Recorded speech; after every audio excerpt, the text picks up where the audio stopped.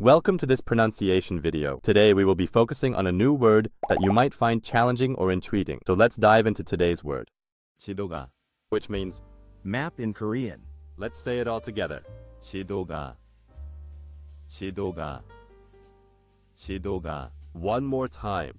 지도가 지도가 지도가 Thank you for joining us on this adventure in pronunciation. Remember, language is a journey, not a destination. Keep exploring, experimenting, and expanding your linguistic horizons. We'll see you next time.